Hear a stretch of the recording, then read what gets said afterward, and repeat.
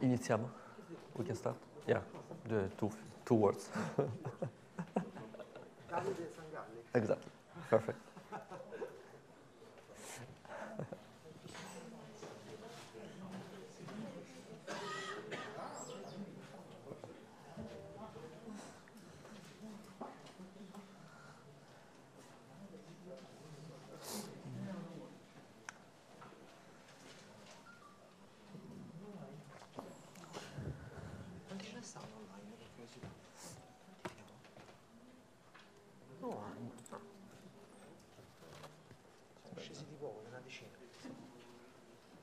Okay, so we start next session where Davide will talk about general implementations and common approximations in the Bethe-Salpeter. Okay, so thank you, Andrea. Now, the, the idea of this lecture is uh, to go a bit more on the details of uh, the implementation and uh, how to do Bethe-Salpeter simulations. But so let me start again uh, stressing this point, which you have already seen uh, in the lecture of Fulvio. So this was the end also of my linear response lecture. So we had this uh, Dyson equation for the response function within TDDFT, the TDDFT kernel, which fails completely in getting the optical absorption of silicon and even worse uh, in, uh, in the case of solid argon. And uh, the reason now we know is that uh, this approach misses uh, excitonic effects. So the, the approach was based on the idea that we take uh, the response function, we start from the DFT calculation, and from that uh, we go in G-space uh, and we, do, we go through this macroscopic averaging procedure and we get a macroscopic dielectric function. So this is not a good scheme, and then now we ended up with uh, a more refined scheme where uh, you start from DFT, you get this uh, response function, but you just use this for the screening. So we have this RPA screening. And this is, again, the starting point to build up on one side the GW self-energy, quasi-particle corrections, and on the other side, the exchange correlation kernel of BSE, so the electron-hole interaction. And I stress again that in the GW case, uh, you take a frequency-dependent screening. Uh, in the BSE case, uh, you take a, a, static screening. So the, you put all this together, so you put the quasi-particle energy and the kernel inside a new Dyson equation, and then you end up uh, with a new description of the macroscopic screening which captures excitonic effects. And uh, okay, you have already seen that, but uh, let, me, let me comment again, in particular in the case of solid argon, the, the red dots are the experimental data. You have this very sharp peak, which now we know is an excitonic peak. It's completely missing at the RPA, blue line, or even TDDFT level within the LDA, adiabatic LDA. But then instead, when you add this piece of the kernel, the electron interaction, you get this very sharp excitonic peak. And uh, so I will start from this concept, and uh, so I, the standard way to, to derive the Bethe-Salpeter, or let's say historically, the, one of the first way was through the Hedin equations. I'm not going to discuss that because you saw the alternative way from Fulvio. And then I will jump a bit more on the description of uh, how the spin enters in the Hamiltonian. And after uh, some long discussion on that, I will show a few examples on uh, optical properties absorption. And then I, I will also discuss uh, other physical properties you can uh, get from the BSE. So the focus uh, or the standard way of uh, speaking of the BSE is about absorption, but indeed uh, there are um, many more experiments that you can capture after you solve the BSE. And at the end, if I will have time, I will show you the connection between the YAMBO input file and the BSE. If I will not have time, I will show that uh, at the beginning of the tutorials in the afternoon. So the Bethe-Salpeter is uh, this equation. So Fulvio already derived it. let me stress about this small four that you see on the top left of this polarizability. So it's a four-point polarizability, which means uh, even the independent particle one is written like that. So you have here six, seven, three, four. And uh, the deeper reason for that is that you have this kernel, so V minus W, which enters spatially in uh, two different ways. So V connects the two independent particle green function in this direction. And W instead, it connects uh, the two independent particle green function in this direction. And this means that you cannot just take uh, a closed equation, so the P2 would be closing 6 and 7 and 3 and 4, and write the Dyson equation, because this W forces you to keep open the, the bubble, let's say, the independent particle term. So these two terms are uh, indeed the electron-hole exchange, this one, and the electron-hole interaction. And let me comment also on the fact that this is called electron-hole exchange, and it comes from uh, the functional derivative of the Hartree term. So the Hartree term is the direct interaction term, the classical term in the electron worlds. When you shift to the electron-hole worlds, uh, it depends the exchange term. And instead, this W comes from the derivative of uh, the screened exchange. So the, the Fock term, or the screened Fock, uh, is the exchange term in the electron language. Now we move to the electron language, and this becomes the, the direct term for electron and those. So we said that we statically screen W. So W in general is a quantity which depends on two times, uh, and instead we take this uh, approximation, which means omega equals zero. And then in the, let's say, Feynman diagrams representation, it means that you have the same time uh, between the two ends of the electron-hole interaction. Now, it's, it is a, a four, four, point equation, so it is not convenient anymore to solve it in G-space, because otherwise you would move to G-space, you would have uh, four G vectors, and it would be too much demanding. I mean, you have a very huge matrix, so it's much more convenient to move uh, in the transition uh, space representation. You still, you still have uh, four indexes, N1, N2, N3, and 4, but the advantage is that you, you just need a few bands to converge. So you can keep uh, the, the size of the matrix uh, still reasonable. Although the, the tricky point usually in extended system is that there is uh, a momentum index attached to, to one, each of these, and the, let's say the convergence with the momentum index is, is the, let's say the most demanding part often. So okay, this is the, the form of the Hamiltonian. You have here the, your quasi-particle corrected energies, uh, and here you have this um, electron-hole exchange uh, and the electron-hole screen interaction. And you have these uh, occupation factors waiting in the kernel. And if you try to change these N1, N2 in valence, conduction, conduction, valence indexes, you, need, you end up with a matrix like this. Now, what we are interested in are exciton between valence and conduction transitions. This is uh, this block. And we, we can forget about the rest, also because, uh, I mean, this one is zero due to these uh, occupation factors. And this one is not important. Indeed, you can also, if you want, uh, try to rewrite this in a more symmetric way with respect to occupations and to have the occupation, the square of the occupation on the left and on the right. And you can prove that also this term will go to zero. And then this, uh, this part will be independent. And then we, we just focus on this. So when we solve the Bethe-Salpeter, we solve the Bethe-Salpeter in this space, valence to conduction. Now, we have both the valence to conduction transition, so an electron moving up, but also the conduction to valence, which is uh, minus uh, the Hermitian conjugator, uh, minus the star of this uh, valence to conduction term. So here you see valence conduction again. And then you have this coupling between transition going up and transition going down. So this is uh, much more intuitive physically. You say I have the ground state where all the electrons are in valence and I can excite them up in the conduction. But in, in reality, your ground state in this representation, which is just a, a mathematical representation, your Kohn-Sham basis set, could be just not all the electron in valence, could be a more correlated one with, uh, you have to take, let's say, multi-determinant. And then it means that in principle, you can also have de-excitation from this uh, occupied conduction state going down. I mean, this part is less intuitive. This is the, the most intuitive. And the two can couple, so this is the structure of the matrix. And in many cases, the Tamm-Dancoff approximation is very good, so the coupling with this between excitation and excitations, you can neglect them, uh, and uh, you can just focus on, uh, on this term basically for describing the excitons. So indeed, uh, in the Tamm-Dancoff, if you just want the absorption, you can really do the resonant all the calculation. And this is what we often do in, in practice.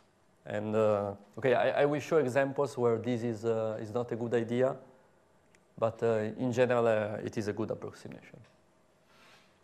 So let me focus on spin. I, I will discuss about spin uh, at length. It will take a, a, bit of time during this lecture just to, to I mean, give you all the details of how the spin enters. And uh, the first simple answer is that Okay, let me say that first of all, we can have uh, different levels of uh, calculations uh, in the ground state. So we can do a collinear calculation for non-spin polarized system uh, where both the S square, the total momentum, and the SZ momentum is a good quantum number for your system. You can have a magnetic system, but uh, still without spin orbit, and uh, SZ is still a good quantum number. You will see that S square is a bit less a good quantum number. And then you can have the, the non-collinear case where you have spin orbit and even SZ is not a good quantum number. In your DFT calculations, this ends up on uh, the kind of wave function you have. In the collinear case, uh, the, your spinorial wave function can be represented by that, and then you forget that it is a spinor. You just take uh, either the up part or the down part. In the spinorial case, you, you deal with a full spinor. And then the distinction between uh, non-spin polarized and spin polarized is that in the non-spin polarized, the up and down components are the same. So you even forget about this spin index and you have just a general wave function. So when you translate, instead, in the case of a spinor, I mean, you deal with a spinor, you have a, a big index for the spinorial state and for the spinorial energy, and then inside uh, it's hidden the, the spin index. So in the many body language, when you compute the Green function, I remember this, uh, this arrow is a representation of the Green function. In the collinear case, you can uh, assign a specific spin state to the Green function. In the non-collinear case, you just have uh, a representation of, uh, let's say, my, my spinor. And this means that if I, when I do all the derivation with my Feynman diagram, Green function, uh, formally nothing changes. So this is, for example, a vertex. It's the same in the non-spinorial and spinorial case. The representation, just in the non-spinorial case, I can explicitly put a, a, spin index, and I know that, for example, the interaction is conserving the spin. So I need to have the spin, the same spin on the left and on the right. While instead in the non-spinorial case, the spin index in enters in the integration of this vertex, so I have a, a sum over the spin index, uh, and I cannot say much anymore on the spin of the i state or on the j state. So why this is important? Let's take my, my BSE, and I start with the collinear case. I can label all my states with the, the spin indexes, and I can see what happens to the, the three terms of the Hamiltonian. So the diagonal part, of course, it's diagonal, so I have a conservation of everything, so same VV prime, CC prime, uh, and same spin in between uh, conduction and valence states.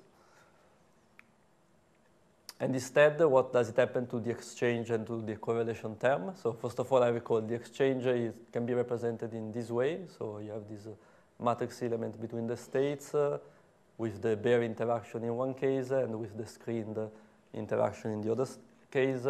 and of course, here we have a, a double G sum, so this is the, the demanding part of the BSE calculation.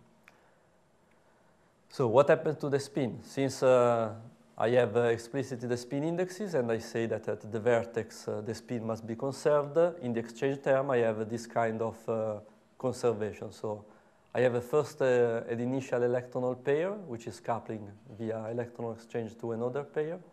And I need that the, the, the, spin of the conduction and the valence of both the initial and the final term are the same.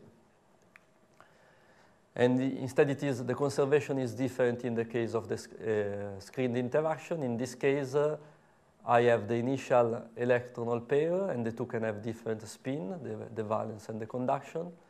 But then uh, the spin must be conserved when I scatter towards the final uh, valence conduction state. So you see that the conservation this, one, this time is between CC prime and VV prime. Instead, before it was between uh, CV and C prime V. And this has uh, an impact on the structure of the matrix. So I go very slowly. Let's say that I take uh, a, a two-level system with just uh, two electrons, non-spin polarized. and I start to consider a possible transition. So spin up transition, the spin is conserved, and I have all the terms. Instead, if I consider this spin flip transition, so this down-up transition, I see that the spin of the valence and the conduction are uh, different, and then there is no the exchange term anymore. There is just the electron interaction. Same for the opposite transition, the other spin flip transition. And finally, for the down-down transition, I have again all the terms, but then uh, pay attention to this, this term here. This is the, the, the term, uh, let's say, relating the up-up to the down-down transition, and here you just have the exchange term. And it, this is again because of these uh, spin rules. So the matrix has uh, this structure. I'm starting from a ground state which is singlet, so no spin. And then I, you see that I can immediately block uh, a part of the matrix. This one is uh, completely independent. It has zero all around. And it goes on, on this side. And this is the spin flipping uh, matrix. Uh, I will discuss briefly that uh, again in the end. But you basically have the spin flip transition. Usually we don't consider that in the BSE. And this other one is the spin conserving transition. So I mean the SZ is conserved. And here again, uh, this matrix has a nice structure. I can block it further. I can block into the triplet state where I conserve as Z, but I change the total spin. Or, and in another state uh, where I even conserve the SZ. And these are the two eigenvectors which I can use to, to do this blocking. So one of the excitation is this, is a triplet, and indeed it is the same as this one. And the other one is the singlet. And since uh, this one is the only which is dipole allowed, uh, usually for non-spin polarized states, uh, you use this, uh, this expression. So this is uh, for one single state, then you have uh, decay dependence, other states, and then you have a matrix with all these terms. So this is the reason why you usually see these two in front of the electron-hole exchange. So this is what happens for a non-polarized system. What happens for a spin polarized system? Let's say this uh, I complicate a bit my model. I put one extra electron. Then the, the energy of these two levels up and down is different now, and also the wave functions. And then I consider this frozen, this state, and I just look at this transition from here to here. So yeah, I still have a, a 4 by 4 matrix. The structure remains pretty much the same, but now I have to take into account that this uh, V can be up, up, down, down, or down, down, etc. I can still block my matrix in spin flipping transition and uh, spin conserving transition, but now at this step I cannot block it anymore. And here the reason is uh, somehow that uh, having these different wave functions between the up and the down channel, I'm breaking the, the total spin of the system. So let me explain a bit more what I need by that. So I'm playing with this model. So I have these two electron here and this uh, lonely electron here, and I'm considering transition from I to K. And if I try to, to take the possible, uh, let's say, excited state, which I get, exciting either spin up here or spin down here, I can try to do linear combinations, and I end up with these two states. Now, these two states, one is a good uh, eigenstate of the spin, is a, a doublet, so I'm, I'm starting with a ground state which is a doublet, this one. And I have an excited state which is a doublet, which is uh, reasonable. Instead, this other state is a triplet, and it is, uh, is not a good state because it is not reasonable to, to get a triplet from a doublet. One would expect either I get a doublet, I conserve the spin, either I get a quadruplet, I flip by the total spin by one. And the reason is that to get the correct uh, uh, let's say, spin structure, so my doublet and also quadruplet, I need uh, an extra state, which is this one, which I can reach just with two excitations. So this is what is called the double excitations. In the community of quantum chemistry, this problem is uh, very well known, and in this, this reference is from the quantum chemistry community. In the community of extended system, we don't care much about that usually. Uh, and the reason is that the total spin of the system is not so much important as a quantum number usually, especially because magnetic material are usually metals and then you cannot really define the total spin. But uh, well, I mean, one should keep that in mind, especially if you study, for example, defects in extended systems where you can have uh, some kind of isolated physics, uh, or if you use the BSE for uh, molecules uh, and you have a magnetic molecule, then this is an issue. So why we miss double excitations? Because I remember you, we take the BSE, we have a static kernel, which is just mixing single particle transition. And if we want uh, extra transition, double, triple excitations, we need a dynamical kernel. And this is the same of uh, the GW physics. No? In GW, we have a dynamical uh, self-energy, and this uh, dynamical part take into account all the other excitations. Here we are neglecting them. Okay, so let me switch instead to the non-collinear case. As I said, in the non-collinear case, we still have the same terms, but now there is no spin conservation here. So in, uh, when you do the integrals, you have a sum over the spin index. And this is true for the exchange, and it's the same for the correlation. You have a sum. And then uh, instead of having this very nice matrix, we end up with this uh, huge matrix where all the elements are different from zero. This is what you do when you do a BSE calculation starting from a, a ground state simulation with spinors. And then one message is that uh, you, you cannot say much about uh, the SZ quantum number neither, and that you are mixing the spin conserving transition, which we had here and here, the two corner, with the spin flip transition. So in a sense, uh, you are mixing the basic transition, which gives uh, excitons, with this uh, spin flip transition, which are the source of magnons. So you have a, a whole matrix which mixes somehow exciton and magnons. Of course, usually the spin orbit is weak and this mixing is weak, but in general, I mean, when you solve the, the BSE, you have all the poles.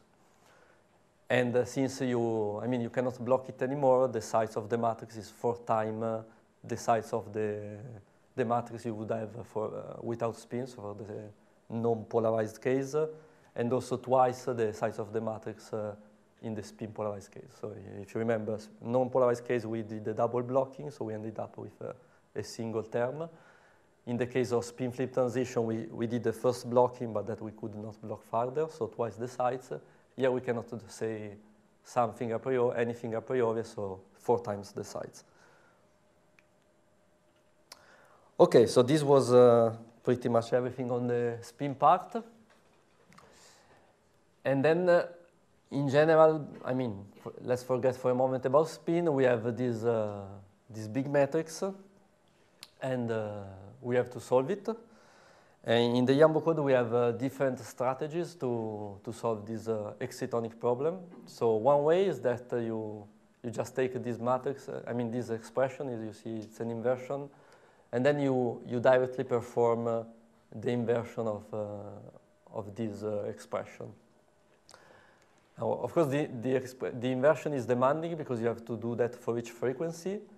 One advantage is that in principle here you could also add easily a frequency-dependent kernel. So we, we cannot do that yet, or at least not, I mean, we are not going to use it, but this is a scheme where you can invert frequency by frequency, and so you can include eventually uh, dynamical kernels. It will give you just the spectrum and uh, you can do also that in a, I mean, you can do that through the LAPACK, ScaLAPACK libraries. It becomes uh, easily very demanding, uh, but you can also do inversion in a, in a more perturbative way, and it, it is a bit more efficient. An alternative way is to use what is called the Lanczos or uh, Haydock scheme. It's a perturbative scheme. It's the most efficient, efficient scheme to solve uh, this excitonic problem. It has a good scalability. And it is the scheme which you usually use uh, if you want to get a spectrum of a big uh, material. Then on the other side, we have the diagonalization. The big advantage of uh, doing really a diagonalization of this uh, excitonic matrix is, matrix, uh, is that you will get uh, the excitonic eigenvectors. So the excitonic eigenvectors here are represented by these capital A, N1, and N2. And again, you can do a brute force diagonalization. You will have a huge matrix in many cases, and you can call uh, LAPACK or ScaLAPACK in a parallelized environment. Uh, you will get all the eigenvectors and the eigenvalues. But uh, this is very demanding, and uh, in general is not really what we need, because uh, if we are interested in exciton and in uh, excitonic wave functions, usually we want just a few bound states. And then uh, in Yambo, you, you have an alternative approach uh, via these uh, SLEPc, PETSc libraries, which are exactly meant to, to take these kind of uh, eigenvalue problems and solve them in a perturbative way. So you do a perturbative scheme which gives you, however, the excitonic states and the excitonic energy, but you select just few. So you will tell it just want uh, the first 100 states. You will see that in the, in the Yambo input file. And uh, you will have just a portion of the spectrum, but you, you know everything about the spectrum.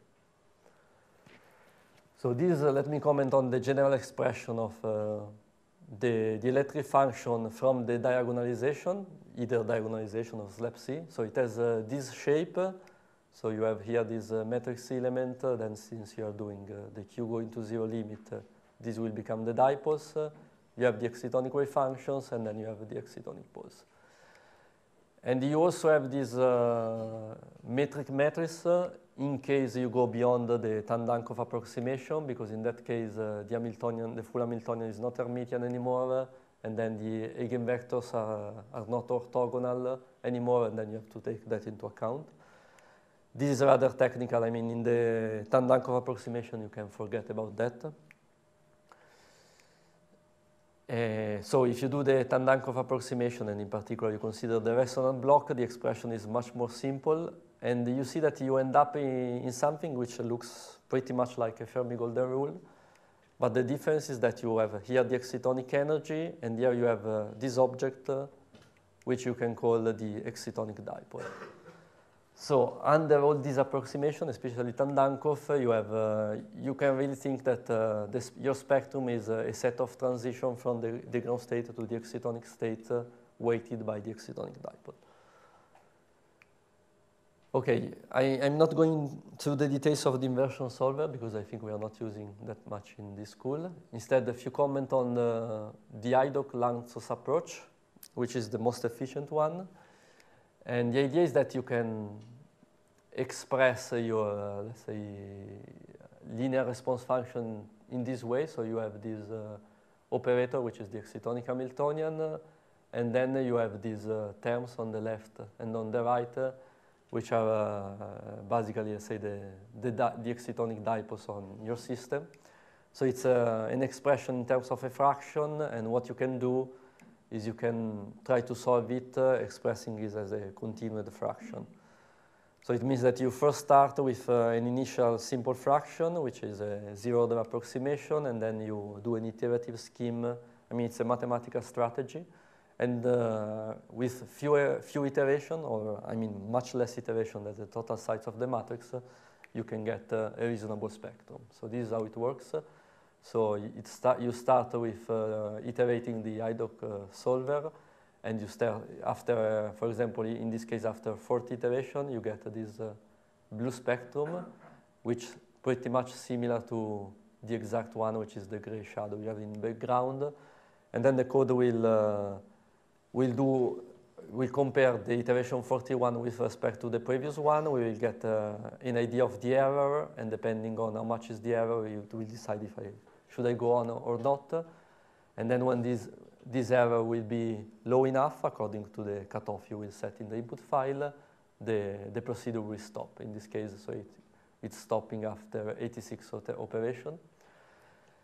And uh, I mean, the, the scaling of uh, this approach, I think uh, it goes quadratically with the number of uh, electron-hole pairs. So uh, it grows uh, still quite fast, but it is much more efficient than standard diagonalization, which goes as a power of four, if I'm not wrong. And so this is the case of the resonant only uh, term, so it's the standard Lanczos. It can also be extended to the non-resonant matrices. It was done in uh, this paper, for example. And there is also a PRB, I think, for the detail, details. Now, a couple of examples uh, of our optical spectra obtained via the BSE. I use them to comment a bit on the physics. So, okay, first of all, we have uh, these two spectra, which we have already seen. So I stress again, the BSE, the main role is to capture the bound exciton. Both here in this case system, where we have a strongly bound exciton, so this is a 2 eV binding energy. But also in the case, uh, in the case of silicon, which is a semiconductor, so this is the independent particle part. Ah, also, let me remember that. So you do B DFT, and you get this uh, spectrum, so uh, Kohn-Sham energy differences. Then you do the quasi-particle corrections, so you open the gap and you shift the spectrum. You, you get this dashed line. And then you do BSE. In this case, the binding energy is not that much. In back silicon, the shift from here to here is a few hundred millielectron volts, even few tens of millielectron volts. But the, the shape of the spectrum is uh, changing, and in particular, there is an enhancing uh, of the first peak. And this is a general behavior. So the, the BSE is giving a binding energy, but also an enhancing of the oscillator strength. Okay, so the, I mean, the approach has been applied to, to many more material, silicon uh, oxide, lithium fluoride, uh, this is uh, carbon, uh, and also to surfaces, uh, to, to liquid system. This is just to, the message is just that uh, it is a, a very well-established scheme. It works in a wide range of systems. And here an example of carbon nanotubes, and I use this also to, to give you a message, which uh, it's in general true, I would say. So here you see what happens to the, um, the binding energy of the first exciton, the GW gap uh, of a carbon nanotube, so that you see that they, they change uh, as a function of, well, this is called distance as the, the, the size of the nanotube, so of the curvature. So the two are pretty sensitive, and I would say that this is in general too. So when you change system uh, and you play with systems, uh, you will see that the electronic gap can change a lot, uh, and the binding energy can change a lot as well. But in general, the two, they change in the opposite direction. And then if you look to the peak of the first exciton, it will stay pretty much in the same position. So this is, for example, also true if you take a transition metal dichalcogenide. So you take the bulk version, you have an exciton which is here, you take the 2D version, you have the, an exciton which is uh, more or less in the same place, uh, but the, the gap and the binding energy are very much different. Okay, so another point is the, the convergence. As I said, uh, the convergence uh, with respect to the k-point sampling is uh, particularly important, and uh, it is even more important if you go to, to isolated systems. So this is a case of a 2D material. And it is related to what Alberto was discussing for the GW case. So in 2D material, you have uh, the macroscopic, uh, the electric function, which has to, to go to one, the exact one. But to get that, in principle, you would need an infinite box. And then you, you, cannot put an infinite box in your simulation, so you, you do use a smaller box, and this is what happens to, to your dielectric function. So here we have the limit of isolated, here we have the limit of the bulk. So when you put some vacuum, you move towards that, but uh, the, the approaching of the, the, the real isolated system is uh, very slow. And so what you do, you, you put a two Coulomb cutoff, a truncated, a truncated interaction, and this helps a lot. So it helps in the GW and also in the BSE. So if you, do, if you run tutorial on 2D materials, remember to include the truncated interaction, and you will see how to, to put that in the input file. Okay, also a comment on the Tamm-Dancoff approximation. We said uh, this is the structure of the matrix, uh, and in general, it's a good idea to neglect the coupling terms uh, in extended systems. And here, uh, in this paper, they study the optical absorption of a 1D system. And the message is, uh, if, you, if you look at the spectrum along the periodic direction, then the Tamm-Dancoff approximation is pretty good. But then if you start to tilt the direction of the field with respect to, to the direction of the carbon nanotube, then you see that the, the Tamm-Dancoff approximation breakdowns in, uh, in some region of the spectra. And so the general message from this is that Tamm-Dancoff is good for extended system, is uh, usually bad for isolated molecules. Although going beyond Tamm-Dancoff is always risky, so I'm not going to say much, but uh, there are many cases in, in which uh, beyond Tamm-Dancoff, you change a lot the spectrum, but you also get, uh, uh, let's say, some uh, weird results. Okay, a bit of literature. How am I doing on time? I don't have a chairman, I chair myself. Okay, I think I still have some time. Okay. so, okay, this is just, uh, I show you some, uh, say, reference papers which uh, you may be interested from the very old ones, uh, the, the paper of uh, Bethe and Salpeter, where you, you find the first derivation and application of the Bethe-Salpeter equation, to more and more recent papers. Uh, I mean, if you are interested, uh, just you can have a look on this. And in particular, in the let's say ab initio community, there is this very nice review, which I mean, I wouldn't suggest this as a, a paper to study because everything is compressed, but if you need, uh, you know already what is GWBSE and you need uh, to check some details, so this is a good reference review. And now let me jump to the last part, so more response functions. So we have stressed a lot the BSE is important to get absorption spectrum excitons. Uh, you can get the excitonic wave function, the excitonic peaks, uh, but indeed, once you solve the BSE, you have uh, an instrument, uh, the, this two-point, four-point response function, which you can use uh, for much more. Uh, so I start uh, showing you, so this is usually what we use to compute absorption. So we use the BSE to compute the density-density response function, uh, and we get this longitudinal dielectric function, if you recall from the lecture of the first day. Indeed, uh, I can go beyond that. I can construct what is called the dipole-dipole response function. And uh, from this, uh, I don't just have the longitudinal term, but I can have the full dielectric tensor. In some cases, it is important. Then I will show you when. And then I also recall you that uh, from the BSE, you can also get the current-current response function, which is an alternative way to get the full dielectric uh, tensor. And I mean, in the TDDFT world, of course, one wants the density-density response function, but the BSE is uh, much more general and you can compute any of these response functions. So let me highlight a bit the difference between the length gauge, so going through the density-density or the, di or the dipole-dipole response function, uh, and the velocity gauge, where you go through the current-current. And the main message is that this one is uh, much more general and it's very good to use to do to go through formal derivations. You have the vector potential, so you can describe both longitudinal and transverse field. You have everything there. But there is a drawback. This approach is uh, very delicate with respect to the omega going to zero limit. Instead, indeed, if you look at the expression here, so there is this 1 over omega squared, and also there is this diamagnetic term.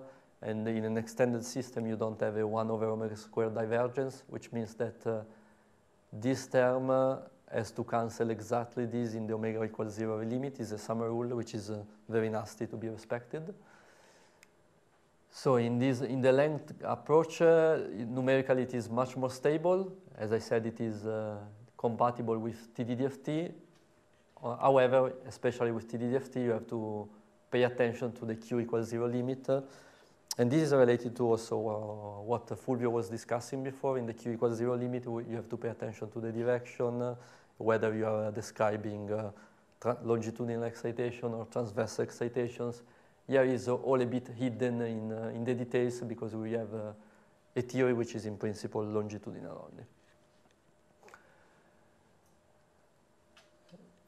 Besides that, uh, you can use the, the response function and then uh, eventually move up to the BSE level, uh, although it's usually not useful, to also describe uh, intraband transitions. So we have discussed so far uh, semiconductor and uh, valence to conduction transitions.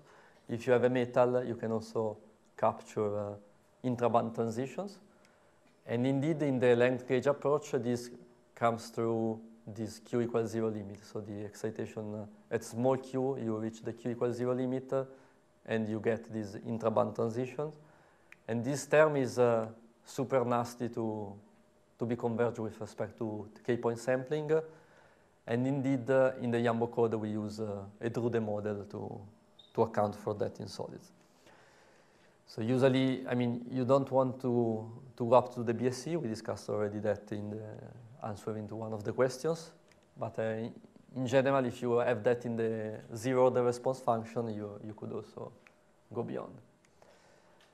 And I also point to a, a funny thing in the velocity gauge approach, uh, this 1 over omega squared divergency is there by default, let's say. And indeed, there is some rule to respect that uh, for uh, systems with a gap. For metals, uh, the Drude term enters via a breaking of the sum rule. So it's not anymore a small q transition, it enters via this uh, funny way. And in this case, however, is uh, super nasty to be converged with the number of empty states. Okay, this was just uh, on the Drude term, uh, but more, much more interesting uh, physics uh, can be gained if we switch from, uh, let's say, the standard dielectric function to other properties of the materials. And indeed, when you have uh, this four-point response function, IJLM, depending on the dipoles you select, uh, you can also construct, uh, for example, this uh, beta tensor, where you have on the right uh, the electronic dipole and on the left the magnetic dipole. And you can use that to describe natural circular dichroism, for example. Or uh, if you take the spin dipoles, this the S plus, so the dipole which describes a spin flip transition, you can have this uh, chi plus minus uh, response function and, uh, and you can describe spin waves. So the message is you, you solve the BSE, you have a lot of information and you, you could also use to, to get some interesting physical properties uh, to compare with experiments. And I show again a few examples. So we said we, you can have the full dielectric tensor, then you can uh, define the absorption of uh, circularly polarized light, right and left is just this uh, combination in between the matrix element. I mean, in this case, I'm fixing the geometry, so the light is moving along the z-axis. I have uh, a magnetic film with magnetization along z. And then I can probe the dichroism, so the different absorption between right and left absorption. So this uh, related to what is called the magneto-optical Kerr effect, and experimentally is, uh, is used a lot to detect the magnetization of uh, a material. What they do in practice, they arrive with a linearly polarized light. Uh, the light arrive on, arrives on the sample, is reflected, uh, and due to this dichroism, there is a tilt in, uh, in the initial polarization, and then you can compute a rotation angle. So if you take a metal, you can do that, so you compute all the matrix elements at the independent particle transition, and uh, you get a very nice description. But then in principle, if you have a, a, magnetic semiconductor, you could be interested in do the same at the BSE level. So natural circular dichroism is another example. It's again the same thing. So you want to measure the difference in between the right and left absorption of uh, a molecule. This is called dichroism. So in this case, the information is not contained in this uh, first order uh, term which relates polarization and electric fields, which in the end defines the first order di dielectric function, but it has something to do with uh, the response of the polarization to the time derivative of uh, a magnetic field. So if you take uh, this whole expression, you have an extended definition of uh, your dielectric function, where it has, you have the standard sorry, the, the standard uh, alpha, so the standard dipole-dipole response function. And then there is this extra beta where you have this uh, magnetic dipole, electric dipole response function. And this is the one which is giving, for example, dichroism in, uh, in isolated systems. And uh, this is uh, an example, of, so usually this is computed for molecules. Uh, TDDFT works uh, very nicely, but if you are interested in uh, evaluating dichroism in an extended system, you may be interested in using the BSE. It's a challenging uh, adventure, especially because uh, here you have these magnetic dipoles which are ill-defined in periodic boundary conditions. You may, you may want to, to do that.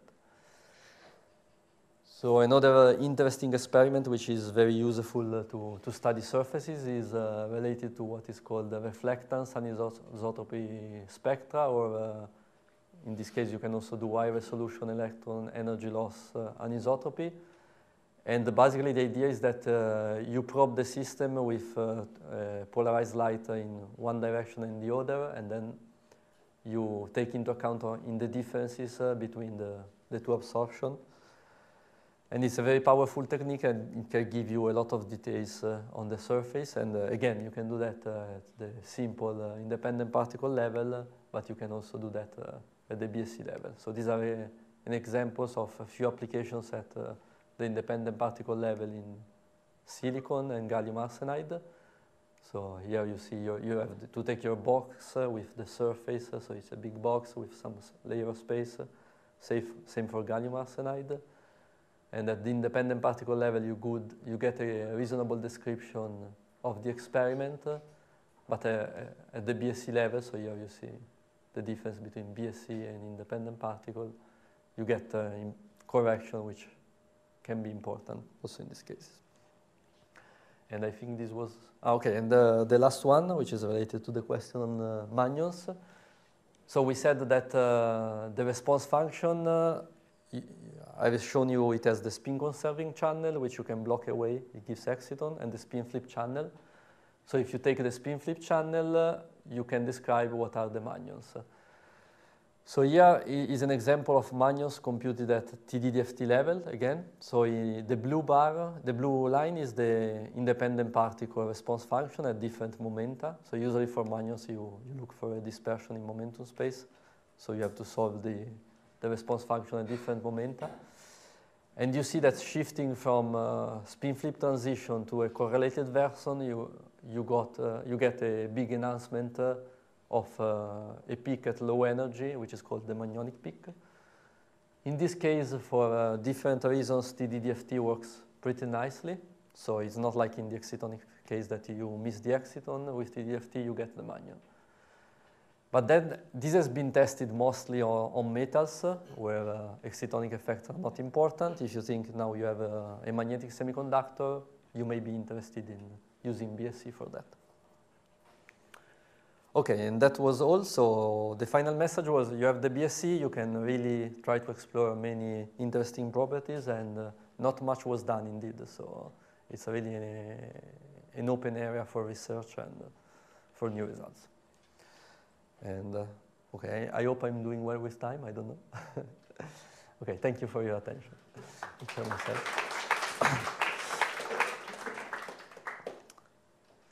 okay, so session open for questions. Please, I remember of the prize. ah, yeah, the mic. Uh, where is the mic? I think it's.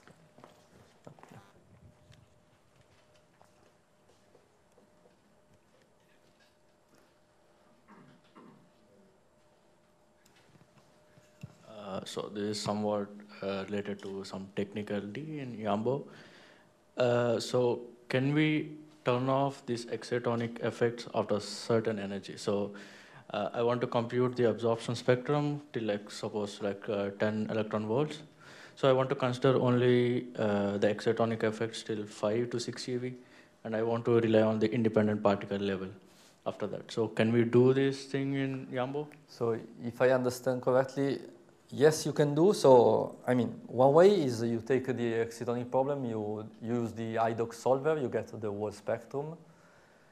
If you instead you also want the excitons, uh, you can use uh, well, brute force diagonalization, you will get uh, the, all the excitons, uh, or you can use this uh, SLEPc solver, uh, and you can ask to the SLEPc solver, I want the excitonic wave functions just focusing on this uh, energy range. So in particular, what you tell to the SLEPc, I'm interested in the exciton around, I don't know, 10 EV, and I want uh, the 10 closest excitons to these uh, 10 EV points, uh, and Yambo will give you that. Okay, so bit addition to that. So now uh, I want to consider like, uh, suppose like four valence bands and four conduction bands. Yep.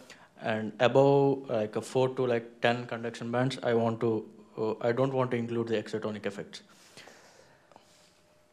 Okay, so let's say you said that uh, for the first few bands I want the excitonic effects and above I am not interested. This I'm not interested in. Well, what I would do, I mean, you can do by hand, you just solve the excitonic matrix with few bands. And then, of course, you should pay attention that uh, to convergence because, uh, I mean, you select an energy range, but maybe the transition will mix with higher energy range. You get the excitonic spectrum there. And then you compute the independent particle one with many more bands, and then you overlap the two. This could be a receipt. Okay.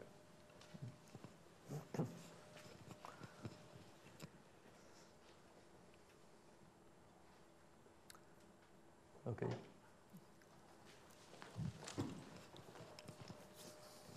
So when you include uh, coupling in the absorption with the Bethe-Salpeter equation, I found that the standard procedure in Yambo is to add just the exchange part of the kernel for the coupling. Ah, yeah. So can you comment on that? Yes.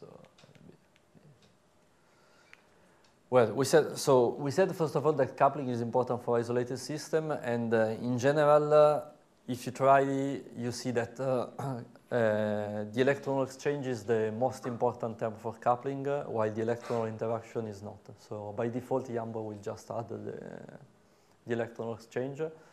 You can also ask to the code there is an input uh, flag, the flag in the input file, also add the electron interaction. And we, we don't uh, do that by default because it's more demanding and you don't gain much usually. And I think the reason is that uh, coupling has something to do with, uh, let's say, going up in energy and going down in energy excitations. and this is what uh, usually is important for a plasmon.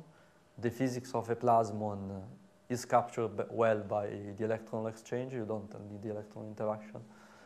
And indeed, this is why. Indeed, for example, in this paper, the, the message that they give uh, is that you, you go along this direction, you have excitons, uh, and then you start to tilt the field, uh, and you have a kind of mixing between exciton and plasmons.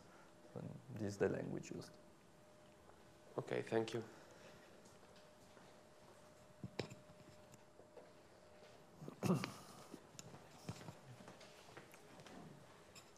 Thanks. I'm repeating a question from before about magnons mm-hmm. and more generally the ability of BSE, especially in the Yambo implementation, to take into account also other two particle interactions, not just electrons and holes. So, I, I didn't get the last point. Well, um, I know there are some extensions of BSE to include uh, spin interactions, for example, not for electrons and holes necessarily, but also for other two spin states. Okay, so you mean uh, spin-spin interactions? Spin-spin interactions. Some people think about it for Cooper pairs, for example. Okay, so I think that spin-spin interactions are uh, somehow effective interactions that you you build up from, uh, let's say, the fundamental Hamiltonian because you really want to capture the physics of uh, magnons or other kind of things. I would say that here we are at the basic level uh, and with the direct electron interaction you somehow have uh, some effective spin-spin interactions. You don't have everything because in some cases you may need to go beyond the static approximation, but I, I think you already have much. Uh, so you, you, can get a lot. In the literature there is a lot on uh, using uh, TDDFT for magnons. And usually the issue is not the interaction, so the exchange correlation kernel of TDFT is already pretty good. And the reason is that what you do, I mean, you have a, a magnetic system and you have a, an exchange splitting between the spin up and spin down band. So to get a magnon, you need a kernel which is able to close that. And so you need a kernel which is exactly the difference between the spin up and spin down exchange correlation potential, and this is what you get with TDFT. And with BSE, you pretty much get the same. So you have uh, the spin splitting, which is determined at the GW level or cos level by W, and then you have the W interaction, uh, and this closes the gap. And the other comment I have is that to, I mean, this balance is very tricky, and it has to do something to do with the fact that the magnon, uh, like the phone, the phonon has to respect the sum rule. So you need to respect what is called Goldstone sum rule. The magnon at zero momentum should be zero, at least without spin orbit. And this is something you can check that uh, it is respected by TDFT, by BSE at a certain level. And I would say that the respecting of this Goldstone sum rule is the most tricky part because you need many bands to. Thanks.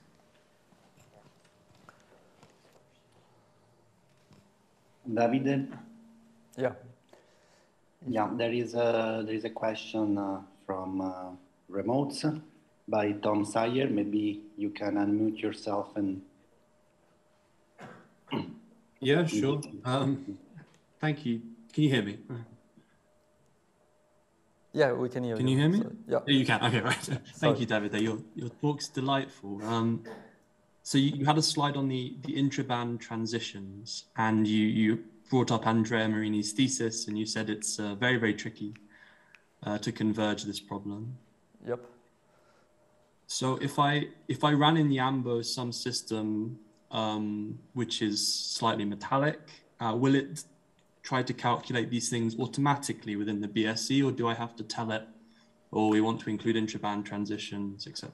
So, I mean, the first message is if you have a metal, usually it's not very useful to do BSE because the metal will screen a lot and you are not interested. Okay, in well, let's BSE. say it's a doped semiconductor. Okay, let's say that you have, a, I don't know, a, a semi-metal uh, or, uh, I mean, some uh, weakly metallic system, so well, the metallic density is uh, very low.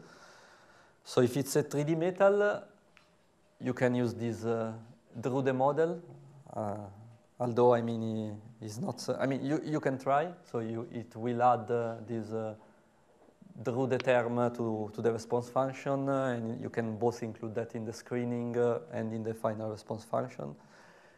If you have some uh, semi-metal where the dimensionality instead of the Fermi surface is lower, uh, well, you can still use it, but I mean, this is designed for uh, uh, 3D metals, so I think you, you should include a better model.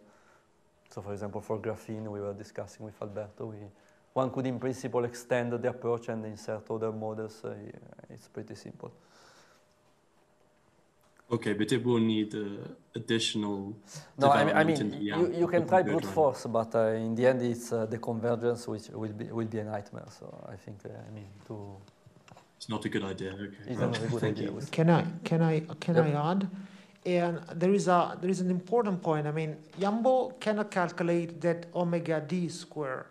The omega d square is the nasty part. Of course, that Mhm. expression is analytic, it's just simple, of course. Yeah. The problem is that omega d square, if you work out the expression above, you see that is a surface integral. So it's just an integral restricted on the Fermi surface. So um, when you do any calculation with quantum espresso or that you pass to Yambo, it is a regular grid that at least have one point on the Fermi surface or a finite number of points on the Fermi surface. And this is not enough to integrate and to get the Drude frequency. So the Drude frequency must be calculated outside using tricks, and, and it is a really difficult thing to converge. In that case, it was calculated by doing an integral on a Fermi surface that is a little bit, uh, you know, the, the, the width is increased because of a fake temperature added. But essential information is that omega d must be provided in the input file from an external calculation. Then Yambo uses that simple analytical form Mhm. that holds for 3D materials. Exactly. Yeah. This is, I mean, that omega d square is not an output of Yambo, but not because it's not coded, it's because it is impossible. I see. Right. This is very. I mean, not impossible, but I mean, super demanding. You need a really super. The regular grid is impossible because a regular grid will, a will, regu- will yeah. put a, a, fun, a discrete group of points on the Fermi surface, and with a discrete point, points, you cannot do the integral. Yeah, I think you can use some ca- try to use some tetrahedron method to integrate in k-space uh, this uh, this integral, and then I mean. Well, c- well, you I mean, the Fermi capture- surface of a, of a simple metal is a Yeah, yeah. surface. Already, if you increase the complexity of the material, Fermi surface can be, you know, like arts, like painting. Yeah, I mean, you just have- super I mean, complicated. One, one trick you can use, which was also explored here, is to to smear the occupation with some temperature, so you somehow somehow broaden the Fermi surface, and then you can instead of doing this, uh, I mean, in Yambo, whenever this, there is this integral, we replace it with a sum over k points, uh, which is uh, a very simple approximation because we are not focusing much on uh, on this kind of uh, integral. So, well, let's say it is the it is much more compatible with many body perturbation expansions. But then you can also try to do that with tetrahedron methods in 3D. They are very sophisticated and you could converge faster.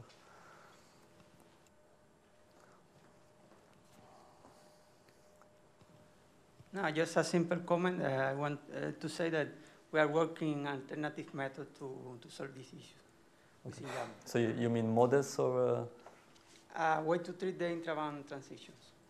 yeah, but I mean through a model system like uh, the Drude-like or to do Uh, some? but also ab initio, I would say, okay, without input any parameter.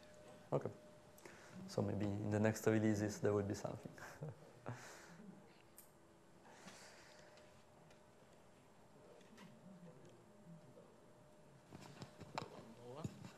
So, uh, uh, as you showed, I mean, you're constructing the BSE Hamiltonian for every k point, and you have uh, a dimension of uh, conduction times valence bands. So, for example, like if you consider exciton as a hydrogen model, uh, like so we only have uh, NC times NV excitons here, excitonic energies, but uh, can Yambo compute the excited states of a, a, a single exciton? For example, like like uh, they rename this as one s exciton, uh, the second excited. So first, let me comment. The, BS, the size of the BSE is uh, number of valence states times number of conduction states times number of k points. Yeah, I mean I'm talking about So- for every k point. Yeah, but, uh, but so the k points are, will mix together, and this is the main uh, effect of the BSE. So you, you have a system which is, uh, let's say, an infinite system, and you have many k points, and the, the transition in between different k points will mix a lot to build up your exciton. So if you think uh, to the exciton in terms of the hydrogenic model, your excitonic wave function will be given as a superposition of many k points. This is the, the main. Uh, but we have like a series of exciton energies. Uh, Then right? you have a series, yeah. Uh, so, uh, like, what I want to ask is like, uh, we only have this uh, NK and NV and NC excitons because we are diagonalizing uh, the size of our matrix is N- NK, NC, NV. Yeah. But like, uh, we can have like a number of excited, uh, many excited states for every exciton, right? But I mean, this uh, MV and CNK is the basis set used to get all the excitons. So uh, I mean, one of the features of the BSE is that you capture all kind of excitons in the Rydberg series.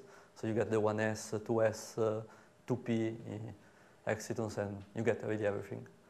There is n- nothing left behind uh, besides the mixing with uh, higher order excitations. Okay.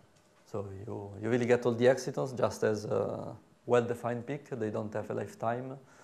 And in case they mix, I mean, you don't have, uh, as in the GW, that you have some uh, uh, satellites, you miss that, but you have all the excitons. Okay.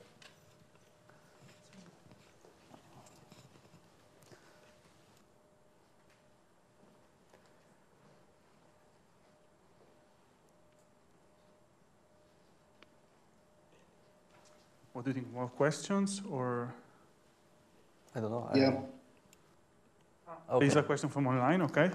I don't know. Uh, yeah, there is another question from online by Rashid Khan. Please. Rashid? Yes. Uh, yes, uh, hear me? Yeah, not very Yes. well. Hello. Okay. Um, uh, actually, uh, I want to calculate the emission spectra of uh, the scintillator material. So, can I calculate emission spectra with the help of Yambo code? So you, you said that the emission spectra and not the absorption, right? Yes. So I mean, not adoption. In, in general, I would say no. Yambo is focused on absorption, uh, but it shouldn't be too difficult to move from absorption to emission. Indeed, the, the I mean, the, there was a, a person who studied the, emission spectra, which is photoluminescence, and he did the coding. I think is not yet available in the GPL. But uh, I mean, also, I- I would say that uh, emission is very similar to absorption. So, as a zero order approximation, you can just take the absorption and uh, and use it to to infer on the emission. Yeah, a zero order. I mean, uh, usually, at, at least I would say, and then, I mean, you can correct me. For extended systems, i it is a good approximation unless you have some, uh, let's say, uh, exciton self-trapping, some di- polaron, some polarons, then uh, in that case the emission can be shifted. But in general, I would say absorption and emission are more or less the same. In isolated system, instead, uh, usually you get the Stokes shifts, uh, but this is more a matter of atomic uh, position shifting rather than uh, uh, a different theory. Andrea, if you want to comment, uh, uh, feel free. Okay, so from a physical point of view, absorption and emission are, are very different. I mean, uh, absorption, you don't need to quantize the electromagnetic field. For emission, you need to quantize magnetic field. So it's very different. So within certain approximation, it can be very stringent, like detailed balance, this kind of stuff that uh, for molecules. You can say that the peaks correspond.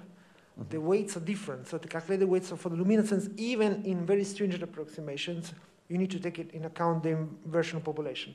So the, the general message is don't just take the absorption in, in as, as an inverse for the luminescence, just try at least to, to get the general physical continents, at least the inverse population, the fact that transitions are just from, from different states. I mean, as a general, But I mean, gen- it's, it's the same excitonic matrix. Uh, then you have extra transition. Uh, If you have a very low density, in general, the excitonic poles are really the same. Yeah, but the, at the numerator, if you look at the even in the super simple the most simple thing, in in a, in, a, in the case of the absorption, you you go from occupied to unoccupied states. In luminescence, you go that way around, Yeah, from occupied above to unoccupied below. So it's not the same transition. No, it's the opposite. I mean, it's minus the. But in photoluminescence at the equilibrium, you wouldn't. You have zero photoluminescence at equilibrium. There is nothing. No, yeah. So this is just. So be careful. Just be careful. It's not as simple as absorption. Just be careful. Okay. So I don't know. I chair myself. I think it's time to move to the next speaker. and uh, okay, thank you.